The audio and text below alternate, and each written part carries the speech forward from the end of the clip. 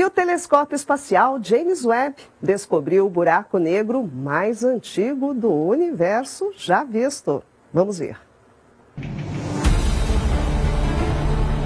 Um artigo publicado no servidor de pré-impressão Archive relatou uma descoberta incrível feita pelo telescópio espacial James Webb.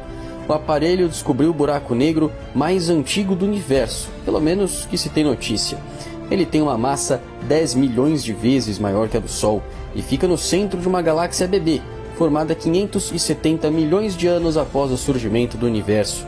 As poderosas câmeras do James Webb permitem que ele volte no tempo para espiar os estágios iniciais do universo, quando esses gigantes nasceram do colapso de grandes estrelas, cerca de 100 milhões de anos após o Big Bang. Esse buraco negro é apenas um de inúmeros outros que se empanturraram de material estelar e chegaram a tamanhos cada vez maiores ao longo do tempo.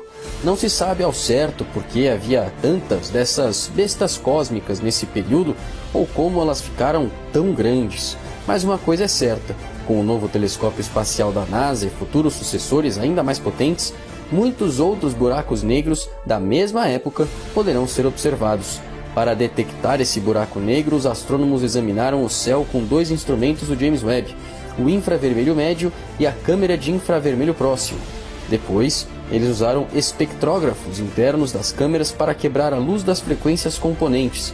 Assim, os cientistas descobriram que o material em torno do buraco negro estava irradiando luz por todo o universo. Agora, os pesquisadores vão começar a trabalhar ao lado da equipe que construiu o instrumento de infravermelho médio para procurar sinais mais fortes de luz da galáxia que abriga o buraco negro descoberto. Essas emissões podem conter mais pistas sobre como o misterioso monstro cósmico se formou.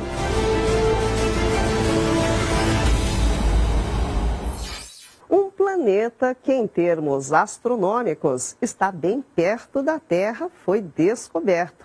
E um detalhe: ele é potencialmente habitável. Vamos ver agora os detalhes.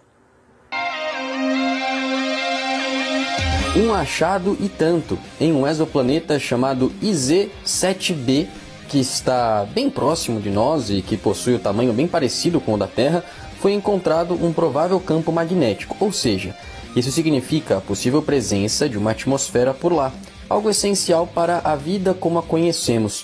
Afinal de contas, o campo magnético da Terra é uma poderosa proteção natural contra a radiação solar desviando partículas energéticas poderosas que chegam à nossa atmosfera e permitindo a existência dos seres vivos. A possível presença de um campo magnético em IZ-7b se deu graças a observações feitas pelos telescópios Carl G. Jenksy Very Large Array, que ficam nos Estados Unidos.